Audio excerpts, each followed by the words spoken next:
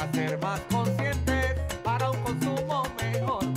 A mi vecina del frente un gran susto le dio por malgastar la corriente.